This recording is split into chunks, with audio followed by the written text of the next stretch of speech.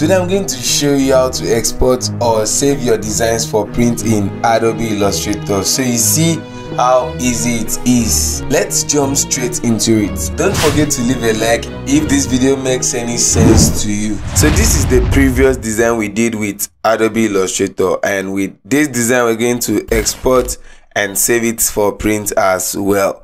So to export this design it's very very easy. You go to file and go to export and click on export as.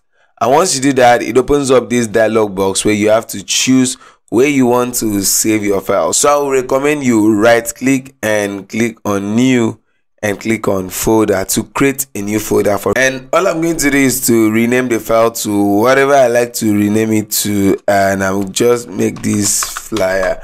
And once you're done with that you can open up the flyer and give it a name you like to give it. You can give your artwork a name any name you like to give it provided you saved your artwork with a particular name. Then you can give it any name you want and click on use artboard. So if you add more than one artboard on your page, then you have to click on range and choose the number of artboards you want to export. But if you want to export all the artboard, you click on all and all the artboard will be exported. Then all you have to do next is to click on export and you choose the color model you want to export with either RGB or CMYK. Remember, RGB is for your screen or social media while CMYK is for print. Now why this is on CMYK is because the color mode for the original design is CMYK. That's why it's on CMYK. And if you want to export with a one color mode, then you use grayscale to do that. So I'll leave it at CMYK and that's fine. And make sure the quality is the highest quality as possible. If this is for print but if you want to leave it for screen then you can reduce the quality and reduce the resolution to save the file size as well. So you make sure that your resolution is at 300 compression is at baseline standard and every other stuff can be left at default and you click on ok. And once you do that you can open up your artwork to see how it looks like. So this is your artwork here and that's cool and nice. Let's try something else what if you add up to multiple pages? Like this let's say you have up to two pages like this.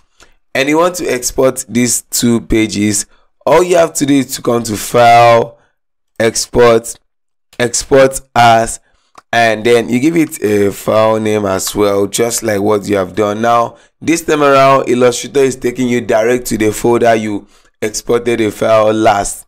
And then you click on use artboard and you click on range 1 to 2 and that gives you the two artboard but if you want to export only one artboard and that's the last artboard you input 2 here and then it exports only the second artboard and pretty much that's very cool and that's nice next thing you want to know is how to export a particular selection. And what if i want to export a particular selection just like maybe i have this design out here just like this and i want to export just this design. All you have to do is to click on file and go to export selection.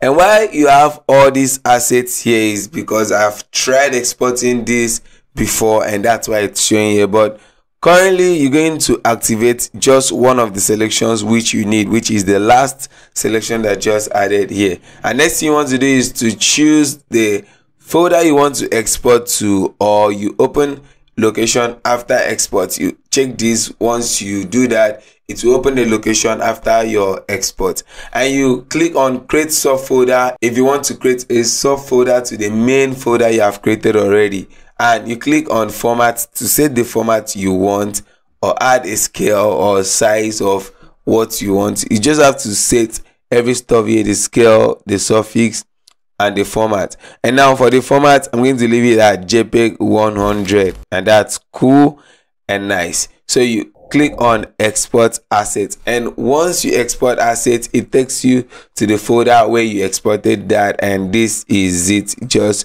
right here and that's cool. So that is how to export a particular selection. And one more way to save files for print in adobe illustrator is to save it as a pdf file. So to save this as a pdf file all you have to do is to come to file and come to save a copy. And once you click on save a copy you click on save as type and click on Adobe PDF. Then you can name it any file name you want to name it and that is cool. Then you choose the folder you want to save it to and then you click on save. And one more thing you can choose the you can choose the page you want to save the PDF. For example, you want to click on range and you choose the page you want to save the PDF. But for this case, I'm going to click on all since I'm saving all the page in the PDF file. So you click on save. And once you do that, this dialog box pops up just like this and you click on save. Okay, that's fine.